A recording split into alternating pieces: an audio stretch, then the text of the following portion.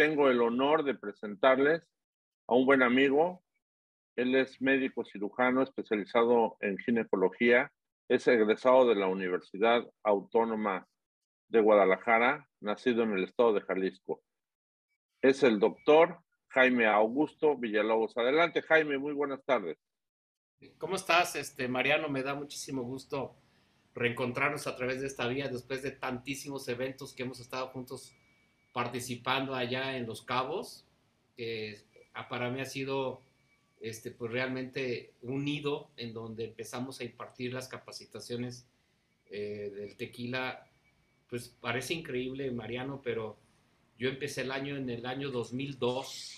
Soy maestro catador reconocido por la Cámara Nacional de la Industria Tequilera, Dura y Capacitación del Tequila, que soy el presidente de ese, de ese de ese centro de capacitación. ¿Y a quién le das capacitación? Mira, nosotros empezamos, como te decía, ya desde el año 1999, terminado el siglo pasado.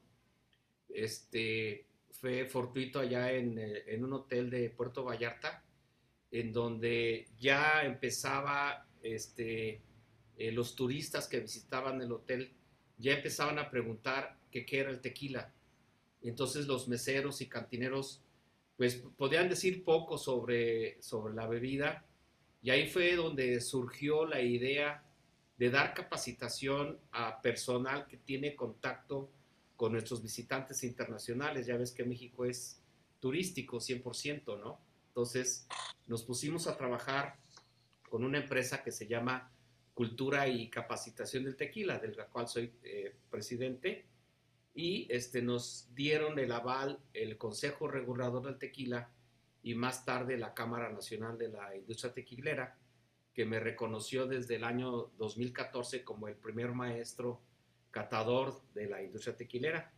Y, la finalidad de estos nombramientos, de los cuales eh, eh, mantengo la titularidad, es precisamente para difundir la cultura del tequila a las personas que le dan servicio a nuestros visitantes está dirigido al mesero, el que trae la comanda en la mano, el que va a atender a un, a un este, turista que le va a sugerir qué bebida tomar. Qué bueno que sea tequila o uno de los destilados mexicanos. No estamos peleados con nuestros hermanos, que son seis bebidas mexicanas con denominación de origen. Y también que se culturice también el bartender, el hostess, el mixólogo, eh, esa es eh, mi focus, ese es mi, mi target de, de, este, de, capacitación. Y también personas que hacen los famosos tequila tasters con, con nuestros visitantes.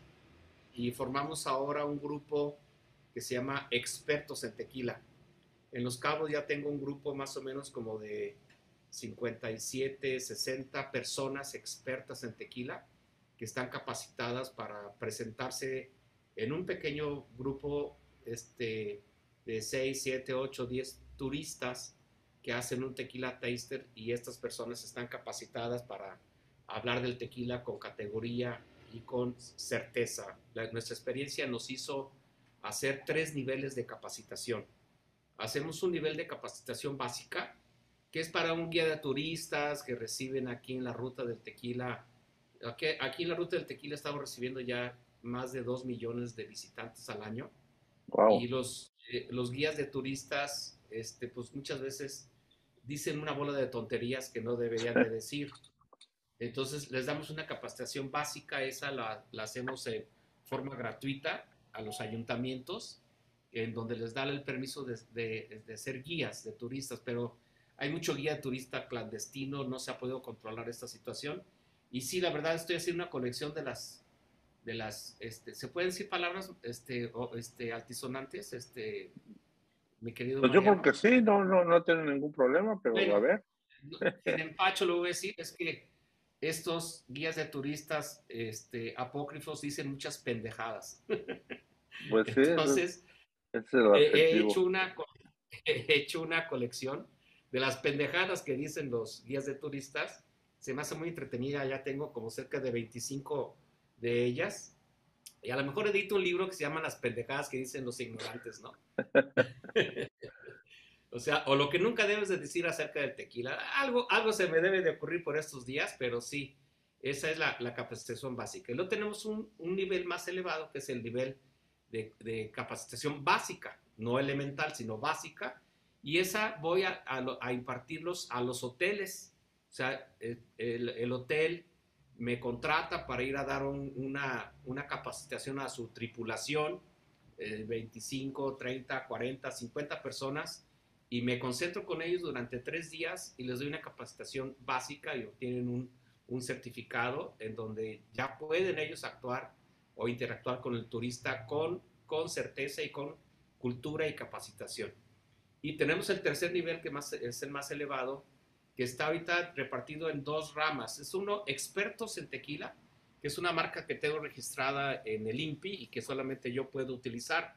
Y entonces ese nombramiento de expertos en tequila es un título protegido por las leyes mexicanas. Y tengo otro título que acabo de registrar también en el INPI, que se llama Experto en Destilados Mexicanos. Aquí en esta parte no solamente los hacemos expertos en tequila, sino que además les, les impartimos cursos sobre el mezcal, el sotol, el bacanora, la raicilla y la charanda.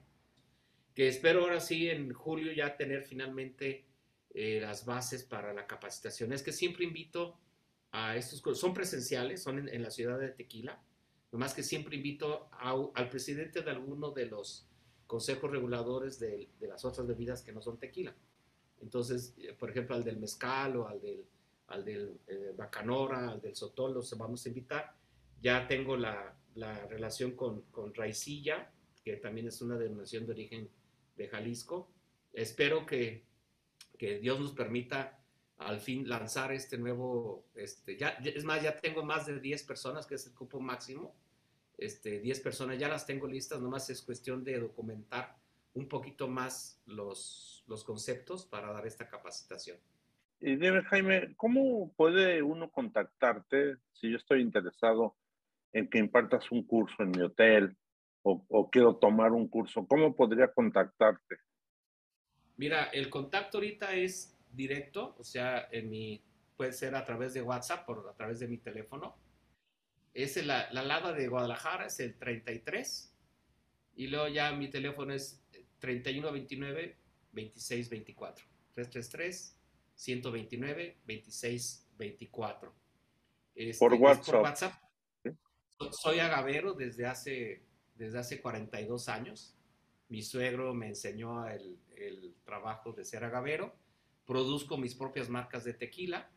El tequila que tenemos allá en, la, en, Los Cabos es el tequila Mexitas. ¿Cómo no? lo conozco, lo conozco perfectamente. Que lo tengo en sociedad con Carmen Carvajal de Nixan y con Alessandro de Rossi, que está también en Nixan, ahí en Palmilla. Y, y, pues Mexitas es la unión de la palabra eh, de las, de las países México-Italia, ¿no? y este, fue precisamente eh, en ese año de, que, de la fundación de Guadalajara cuando dicen las crónicas de los historiadores que al finalmente después de que de cuatro fundaciones que tuvo la ciudad de Guadalajara, la cuarta fue la definitiva aquí en, el Valle de Atemajac y finalmente brindaron, dicen que brindaron con un aguardiente producido en la región. Presumimos que ya era tequila, fíjate. Entonces, desde ese año de 1542 este, hasta más o menos el año 1880, una cosa así, todo el tequila fue blanco. Y fue cuando después agregó el añejo, más tarde se agregó el reposado y después se agregó el joven o oro y finalmente se agregó el extrañejo. Pero el blanco, fíjate que tiene su, tiene su naturalidad, puesto como, como no tiene la influencia de la barrica, pues es lo más, lo más cercano a lo que puedes tú apreciar de los, de los este, congéneres que se producen a través de los azúcares que acumulan los, los agaves. El tequila sabe a tequila. ¿Por qué? Porque tiene sus aromas y sabores específicos que son de la bebida que son inconfundibles. O sea, este, difícilmente, aunque sí puedes confundirlo con, con unos mezcales, puedes confundirlo, fíjate, yo confundí una vez, eh, eh, catando un tequila, este, me pusieron una bebida que no era tequila, era pisco, de allá de, Chile, y, lo confundí. O sea, las características, las características organolépticas del pisco hecho con uva, este, se me hizo muy similar en su tipicidad al tequila. Y también lo hemos confundido con algunos sotoles, que de, de repente dices, ¿qué es? Híjoles, pues no sé si es tequila, mezcal o sotol. O sea, hay, hay, una, hay un momento en donde se funden los destilados o espirituosos, en donde es difícil de, definirlo, ¿no? aunque, aunque, defendemos y, estamos seguros que el tequila sí tiene sus características propias, pero hay mezcales que se hacen con el agave azul que saben a tequila y son mezcales, simplemente porque se hacen en Zacatecas, ¿no? Y esa es la, o sea, se hace con el mismo proceso de tequila, entonces, aunque es mezcal, pero sabe a tequila. Entonces, eso es por eso que siempre dejo un, margen de, poder comprender que nuestra bebida puede ser confundida con otros destilados, ¿no? Inclusive hechos con otros vegetales diferentes, como fue el caso del pisco, ¿no? Muy bien. Tengo dos dudas o dos preguntas que hacerte. La primera, eh, la competencia respecto a otros países, principalmente China o países que hacen la imitación de, la bebida, ¿qué tanto nos afecta? Las denominaciones de origen, que es una idea francesa que ocurrió allá a mediados del siglo XIX, solamente son respetadas por los gobiernos. Entonces, de más de 125 países a donde se exporta tequila, tan solo en 50 o 60 países se respeta la denominación de origen. Afortunadamente, los países que más consumen tequila, que es Estados Unidos, después sigue México. Pues aquí, aquí ni modo que no respetemos nuestra propia denominación, ¿no? Pero Estados Unidos respeta la denominación de origen tequila, igual que la Comunidad Económica Europea, en donde se encuentran los países mayor consumidores de tequila, como es Alemania, España, eh, Nueva Inglaterra, este, Inglaterra, este, Francia, Italia, o sea, respetan la denominación de origen. Hay países que no la respetan. Fíjate, ahorita tú mencionaste China. China casualmente sí respeta la denominación de origen y nosotros respetamos la denominación de origen de su bebida de, China, que es el Baiyu, ¿sí? Entonces, se hacen intercambios entre países para que se respete, hay un respeto mutuo de sus denominaciones de origen. Es el caso también como el de Chile para el pisco o para eh, Perú que también tiene el pisco, los dos tienen la denominación de origen y los dos respetan al tequila. Y se hizo un trato con, con Brasil recientemente y respetamos nosotros su cachaza y ellos respetan nuestro tequila. Países en Sudamérica que no respetan la denominación de origen, te va a sorprender, es Argentina, fíjate. No me digas. En Argentina venden bebidas que dice bebidas con tequila o, bebidas que le llaman tequila y no es tequila. Y, el, y otro muy sorprendente que encontré en uno de, mis incursiones en el extranjero fue en las Filipinas. Me encontré que hay una bebida que se llama el hombre tequila y no es tequila, lo hacen allá en Filipinas con alcohol de caña. Y, y de esa bebida se venden 350 mil litros. Y de tequila se vendían hace como cinco años 250 mil, o sea, se, se vende en Filipinas más una bebida apócrifa que no se llama tequila, que, se llama tequila y no es tequila, que los tequilas auténticos, ¿no? Entonces, eso sucede en, muchos países a donde se exporta el tequila, pero no se respeta la denominación de origen. Entonces, ese respeto depende de los gobiernos. La otra pregunta que tengo, he visto en, en algunas botellas que dice doble destilado. ¿A qué se refiere? Mira, en una de las operaciones unitarias para la elaboración de tequila es la destilación. Este, básicamente todos los tequilas tienen que ser doble destilado. O sea, eh, este, es un pleonasmo decir doble destilado porque forzosamente tiene que ser destilado dos veces. Eh, la primera destilación se llama destrozamiento y obtienes un producto intermedio que se llama ordinario y después este ordinario lo tienes que volver a destilar y se llama rectificación. Y en esa segunda destilación ya se llama tequila. Entonces, básicamente todos los tequilas, este, por, norma, deben de estar destilados dos veces. Y este, lo que sí puede uno presumir es triple destilado, o sea, que lo rectificas dos veces. Eso sí lo puedes tú presumir, ¿no? que hayas, que hayas este, tenido que, rectificar de nuevo la, la bebida y se llama triple destilado. Por último, dime qué les puede recomendar a los jóvenes que quieran dedicarse a, a la industria del tequila. Pues mira, te lo voy a dar dos, dos conductas. Uno, a los jóvenes que se quieren dedicar a la industria del tequila, que lo hagan con mucha eh, pasión, con mucho interés y que también eh, sepan que este, hay gran, gran este, eh, interés en el extranjero de participar en la industria tequilera, pues ya es ahorita este, la cuarta bebida más importante destilada del mundo, sobre todo en los Estados Unidos, que ha desplazado a su propia bebida, que es el whisky o bourbon, y está a punto de desplazar al vodka, o sea, el tequila está siendo muy atractivo para eh, los nuevos negocios. Y ese es lo particular, los jóvenes que si lo van a hacer, lo hagan con pasión y realmente que piensen que no van a entrar a encontrar este, el arca de, de oro, ¿no? O el pueblo del dorado. tienen que trabajar. tienen que trabajar muchísimo, ¿no?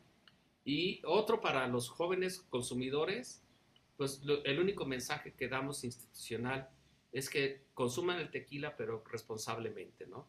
Hay un consumo responsable en donde deben de ingerir el tequila este, no más de una una medida estándar que son una copa de 40 eh, mililitros, o sea, un caballito por hora y no más de cuatro eh, para los hombres y no más de tres en las mujeres, este, porque más de cuatro o más de, de tres en las mujeres ya se llama consumo excesivo. Entonces, tanto en, la, en, el, en el, tiempo que transcurre entre copa y copa, debes de dejar pasar una hora porque de otra manera se va a llamar consumo explosivo. O sea, eso lo vemos en el consumo, en la responsabilidad del consumo de bebidas alcohólicas, no específicamente de tequila, pero solo lo promovemos mucho ahí en la cámara, que, no, que eviten el consumo explosivo, el consumo excesivo, el consumo nocivo. Si sabes que te va a hacer daño, no lo tomes. ¿sí? Y también el consumo prematuro. O sea, si eres uno menor de edad, por favor, no bebas bebidas alcohólicas espérate que cumplas tus 18 años en México o 21 en Estados Unidos, ¿no? Quiero otra entrevista contigo, próximamente la vamos a programar. Y te agradezco infinitamente tu tiempo y a mis amigos de Gente Brillante e Interesante les recuerdo que deben de suscribirse para seguirnos, que le den activación a la campanita para todos nuestros nuevos videos y que no se olviden de compartir. Gente brillante e interesante. Eh, lo encontramos en YouTube en YouTube, en Facebook y en Instagram. Ahorita mismo me voy a inscribir. Gente brillante, interesante como, tú, Mariano. y le pongo una campanita. Oye, le pongo una campanita con un tomándome un tequila, ¿te parece bien? muy bien. Jaime, te repito, te repito, eres muy amable, te agradezco mucho tu entrevista. Gracias, Mariano. Hasta luego.